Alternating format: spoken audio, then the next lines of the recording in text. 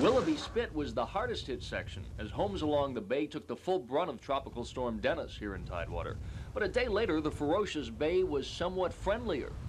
The bay today was a lot calmer than it was yesterday, but by no means, as you can see by the water dripping over me, was it completely calm. But most residents of the area were calm about the cleanup. Melvin Schatzel's home suffered very little damage. No problem. Just a little sand, that's all. But his next door neighbor, uh, Paul house? Lee, wasn't as lucky. Water came through the back patio door and came through the front door. It just covered the whole three inches of water. Pumped out about 350 gallons of water last night.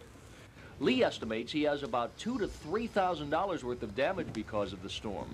But still, he and other residents we talked to who live on the bay haven't been scared away from their homes because of Dennis.